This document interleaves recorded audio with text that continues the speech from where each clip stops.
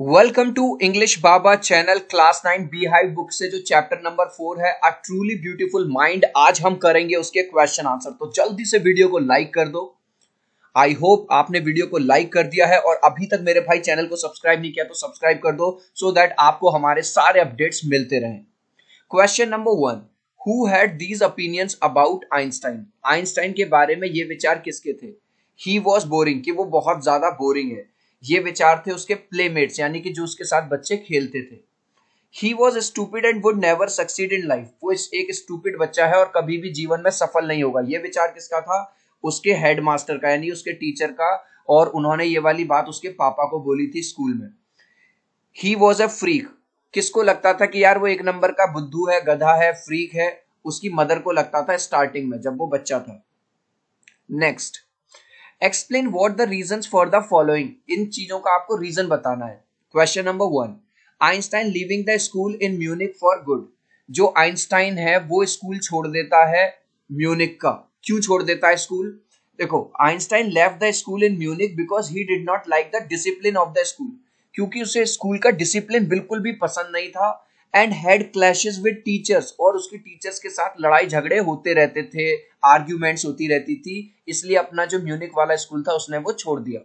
Next Einstein wanting to study in Switzerland rather than in Munich Einstein Switzerland में पढ़ाई करना चाहता था म्यूनिक के बजाय क्यों?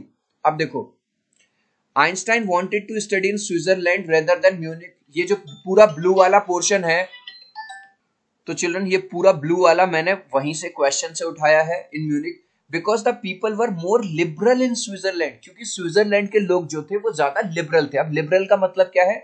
लिबरल का मतलब है ऐसे लोग जो दूसरे की फीलिंग को समझें, जो दूसरों के विचारों को समझें, जो दूसरों की फीलिंग को थॉट्स को इनोवेटिव आइडियाज़ को रेस्पेक्ट दें। Next Einstein seeing in Mileva and ally Einstein को मिलेवा के अंदर एक, एली का मतलब है एक फ्रेंड दिखाई देता है। उसको लगता है कि फाइनली मुझे एक दोस्त मिल गया है। क्यों? Einstein saw an ally in Mileva because she understood his thoughts क्योंकि वो उसके विचारों को समझती थी एंड रेस्पेक्टेड देम और उसके जो थॉट्स थे, क्योंकि भाई वो साइंटिस्ट था, एक अलग ही लेवल का जीनियस था तो मिलेवा उसके विचारों को समझती थी और उनका रेस्पेक्ट भी करती थी। इसलिए मिलेवा में उसको अपना एक क्लोज फ्रेंड दिखाई दिया। What do these tell you about Einstein इन सब बातों से हमें आइंस्टाइन के बारे में क्या पता चलता है? हमें ये पता चलता है कि भैया आइंस्टाइन वॉज़ ए जीनियस एक जीनियस था, ठीक है? But he had his own view of life लेकिन उसका जो तरीका था ज़िंदगी जीने का, अपना ही एक तरीका था। He like freedom too much और उसे बाउंडेशन बिल्कुल भी पसंद नहीं थी। उसको हर चीज़ में आज़ादी चाहिए थी फ्रीडम चाहिए थी। Next what did Einstein call his dash drawer at the patent office why children, अगर आपने ये चैप्टर पढ़ा है तो आइंस्टाइन पेटेंट ऑफ़िस में जब काम कर रहे थे तो वो एक असिस्टेंट थे। मतलब उनका काम था जो बड़े साइंटिस्ट थे उनको हेल्प करना। लेकिन उनकी जो ड्रॉर थी, उनकी जो डेस्क थी, वो ऐसे भरी रहती थी, जैसे आपको यहाँ दिखाई दे रहा है। तो वो अपनी इस डेस्क को क्या कहते थे? ब्यूरो ऑफ़ थियोरटिकल फिजिक्स कहते थे। क्यों? क्योंकि वो अपनी ही थ्योरी पे काम कर रहे थे, अपने ही आइडियाज़ पे काम कर रहे थे सीक्रेटली अब इस बात को अपने वर्ड्स में लिख देंगे। Einstein called his drawer at the patent office the ये पूरा मैंने क्वेश्चन से उठाया। ब्यूरो ऑफ़ थियोरटिकल फिजिक्स उसको क्या कहते थे? पूरा ब्यूरो है मेरे पास थियोरटिकल फिजिक्स का। क्यों? As he use the drawer to store his ideas secretly और वो अपने ही आइडियाज़ पे काम कर रहे थे चुपचाप से। ठीक है? चिल्ड्रन अगर आप मुझसे बात करना चाहते हो, मुझे मैसेज करना चाहते हो तो आप मुझे इंस्टाग्राम पे फॉलो कर लो English Baba dot E B और अगर आप चाहते हो, हमारे टेलीग्राम ग्रुप से जुड़ना, जिस, जुड़ना जिसमें चार पाँच हज़ार से ज़्यादा boys and girls all over India से जुड़ चुके हैं तो इंस्टाग्राम और टेलीग्राम दोनों का लिंक मैंने डिस्क्रिप्शन में डाल दिया है, वहाँ से आप ज्वाइन कर लीजिए।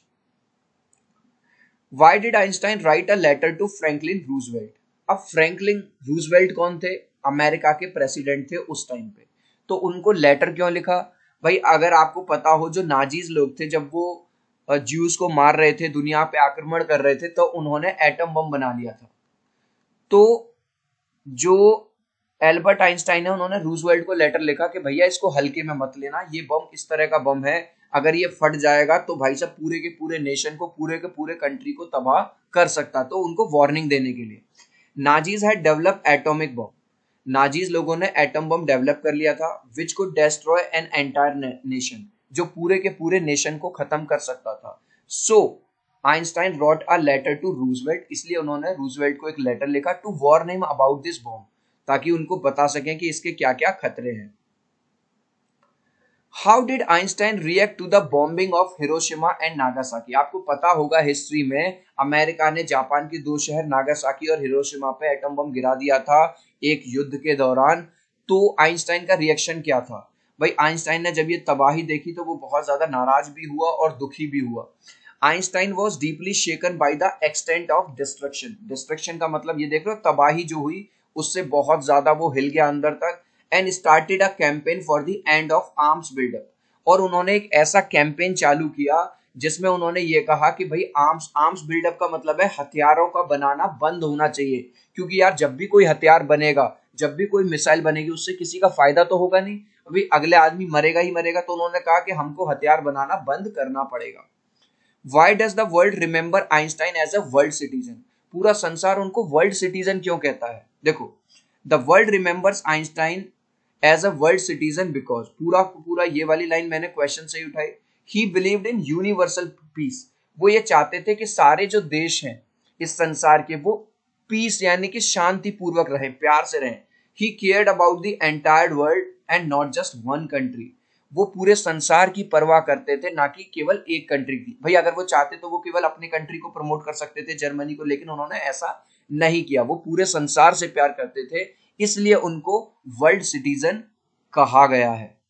चिल्ड्रन लास्ट में एक इस तरह का क्वेश्चन है जिसमें काफ़ी सारे सेंटेंसेस हैं और ये आपको क्रोनोलॉजिकल ऑर्डर में लगाने हैं मतलब एक सीक्वेंस में लगाने हैं।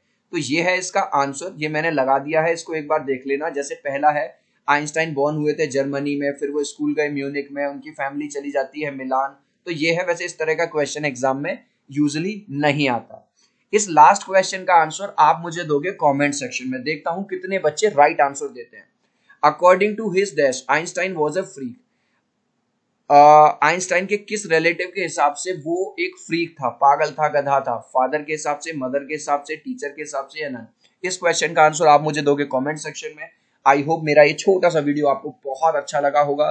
प्लीज़ वीडियो को लाइक कर देना चैनल को सब्सक्राइब कर देना। मिलते हैं अगले वीडियो में। Bye bye